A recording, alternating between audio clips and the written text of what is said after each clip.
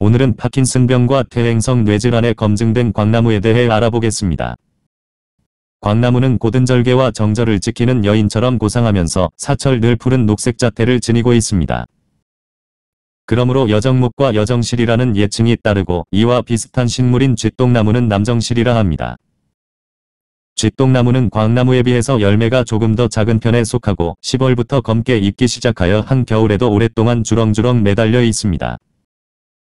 추위에 매우 취약하여 중부 이남의 일부 바닷가와 섬에서 천연자원으로 분포되어 있습니다.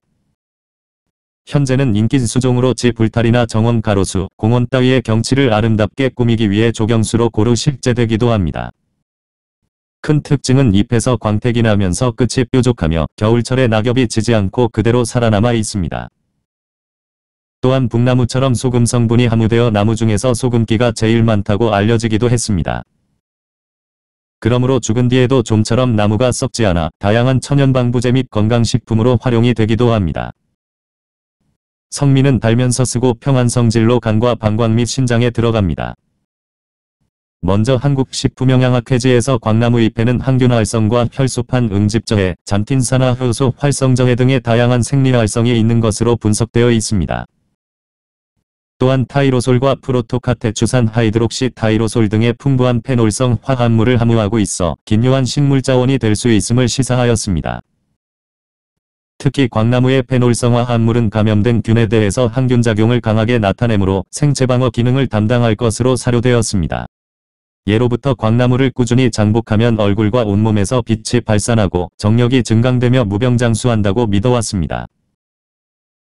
서울화 고려대학교 논문 보고에는 광나무 잎에서 검출된 도파민 성분이 파킨슨병의 치료제가 될 수 있다고 하였습니다. 또한 치매와 건망증 등의 뇌신경보호 개발을 위한 매우 중요한 물질로 쓰일 수 있음을 제시하기도 했습니다. 참고로 파킨슨병은 치매 다음으로 흔한 대표적인 퇴행성 뇌질환으로 도파민을 분비하는 신경세포가 원인 모르게 서서히 소실되어 갑니다.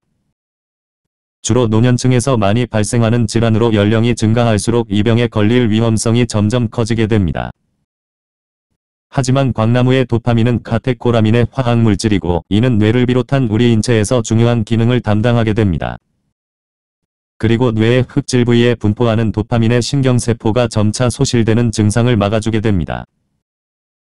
결과적으로 광나무는 뇌손상에 대한 보호화 활성을 확인할 수 있어 뇌의 노쇠화와 인식장애 뇌세포 파괴로 인한 파킨슨병을 치료 및 예방할 수 있을 거라 사료되었습니다.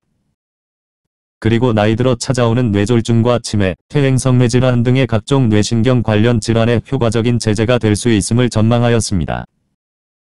현재 광나무 외에도 파킨슨병에 검증된 약초에는 천마와 적봉령 석창포가 대표적입니다. 또한 두충나무와 우산나물 비수리 등이 실험을 통해서 검증이 되었으니 참고가 되셨음 합니다. 파킨슨병에는 광나무 잎을 그늘에 며칠간 말린 다음에 용량 3g에 500cc 정도의 물을 붓고 다리시면 됩니다. 이때 쓴맛이 강함으로 감초나 대추를 넣고 발량이 되게 다리시면 되고 차로 덮어 먹거나 산재나 환재로 쓰셔도 좋습니다. 은용은 하루 2, 3회씩 식전에 마시면 되고 각종 퇴행성 뇌질환에는 석창포와 청궁 두충나무 각 3-5g씩 배합해 쓰기도 합니다. 다음 원광대학교 여정엽은 백혈구 생존기간을 연장시켜 면역 활성을 최대한 높이는 효과가 나타났습니다. 또한 마우스의 췌장 조직에서 인슐린 발현을 증가시켰고 혈관 속 수축인자 발현 억제를 통해서 혈당과 혈압 강화 효과도 인정되었습니다. 아울러 신장의 고혈당과 사구체 조직에 영향을 미치는 것으로 조사되었고 당뇨혈관 합병증 치료 및 예방에 새로운 공급원이 될 수 있음을 알리기도 했습니다. 당뇨병에는 여정엽을 잘게 가루로 만든 후에 1일 3회 식사 후 한 스푼씩 물에 타서 응용하시면 됩니다.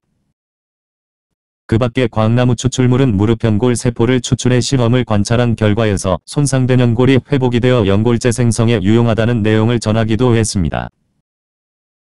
그러므로 관절염과 골다공증 무릎 시림, 활막 인대 요통 힘줄에 큰 도움이 될 수 있습니다.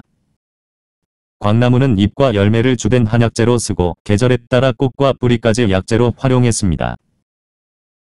잎은 사철 수시로 채취가 가능하고 뿌리와 열매는 가을부터 겨울에 채취해 볕에 말려 사용하시면 됩니다.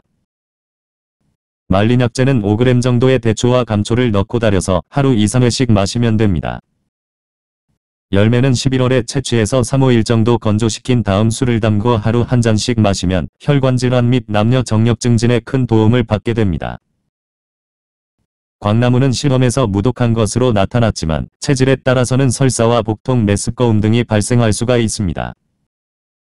또한 오랜 기간 장복해도 좋다고 알려져 있지만 일정 기간 공백을 두면서 먹는 게 중요합니다. 시청해 주셔서 감사합니다.